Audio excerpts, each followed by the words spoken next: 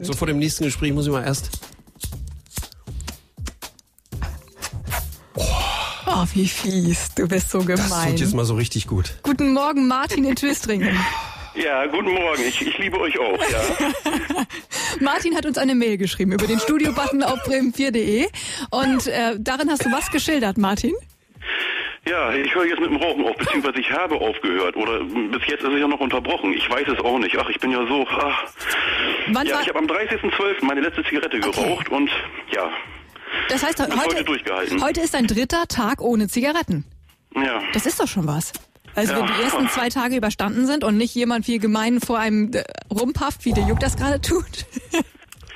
ja Man kommt so richtig runter, Martin. Man wird so richtig, man ist so. Also, wenn es in den Fuß Du wirst mir immer sympathischer. Du wirst mir echt immer sympathischer. wenn es in den Zehen kribbelt, dann weiß man, ah, jetzt, jetzt hat der Tag erst richtig begonnen für mich. Sag mal, wie wirkt sich das bei Ja. dir aus, dein Entzug, Martin? Ähm, ja, im Moment geht's mir gar nicht so gut. Ich habe echt Schweißausbrüche. Das ist wirklich so.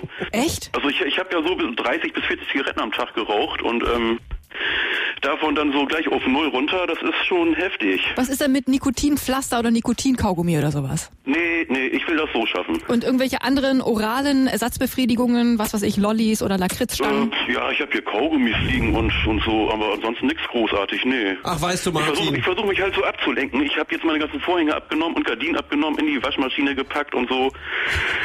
Ach, weißt Ähm, du, weißt du, Martin, ich habe früher auch so viel geraucht wie du, aber 40 am Tag, aber immer nur nach dem Sex. Du weißt, hast du mitbekommen, was Jux Vorsatz für dieses Jahr ist, Martin? äh, nee. Jux Vorsatz für dieses Jahr war, sag es nochmal, Juck, Weniger Sex. das heißt ja dann auch weniger rauchen, oder? Ja, deswegen kann ich nur noch hier in der Sendung ab und zu mal rein. Martin, wir drücken dir natürlich die Daumen und werden, oft hilft ja der öffentliche Druck. Jetzt, jetzt bist du ja bekannt, sollen wir mal Vor- und Zunamen sagen? Das macht es für dich einfacher, weil du dich ja sonst blamierst, wenn dich jemand erwischt. Äh, ja, stimmt, ne? Martin Stricker, jetzt haben wir es Ja. gesagt. Aus Twistringen. Aus Twistringen raucht nicht mehr. Solltet ihr Martin Stricker aus Twistringen mit einer Zigarette erwischen und fotografieren, uns bitte das Bild schicken, dann kriegt der, der das Bild schickt, einen Preis und du stehst dumm da.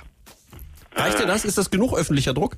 Ja, das ist äh, perfekt. Ja, ich danke dir. Martin, auch wir werden dranbleiben und täglich bei dir nachfragen, wie es denn jetzt aussieht. Ne? Also du kannst jetzt nicht wieder anfangen zu rauchen, ist klar.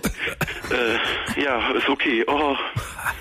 Ja, Martin, schüttel noch mal den, den Teppich aus, guck, ob da noch ein paar Tabakreste liegen und dann saug sie weg. Nicht ein, sondern saug sie weg. ach so, ja. Ja, ich, ich äh, werde es versuchen. Alles klar. Okay.